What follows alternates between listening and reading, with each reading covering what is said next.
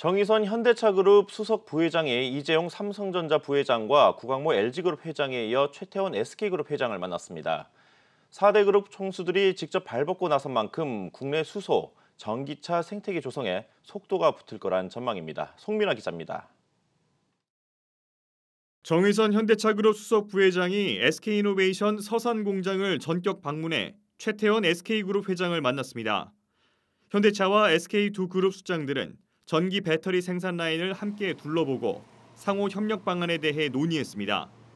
SK 측은 SK이노베이션이 개발하고 있는 차세대 고에너지 밀도 배터리 기술인 리튬 메탈 배터리를 현대차 측에 중점적으로 소개했습니다.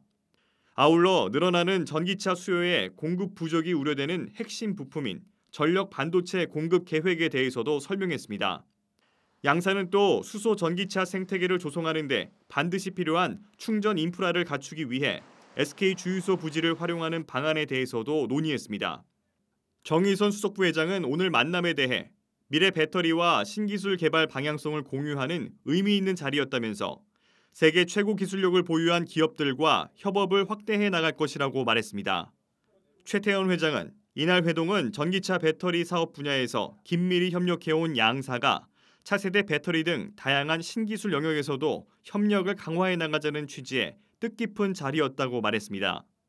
오늘 회동에는 현대차 측에서는 정수석 부회장을 비롯해 알버트 비어만 현대기아차 연구개발본부장과 박정국 현대모비스 사장 등이 SK 측에서는 최 회장과 최재원 수석 부회장, 김준 SK이노베이션 총괄 사장 등이 참석했습니다. 삼성과 LG, SK와의 협력 관계를 공고히 한 현대차 그룹이 K 배터리와 함께 글로벌 3위 전기차 브랜드로 도약할 수 있을지 주목됩니다. 한국경제TV 송민아입니다.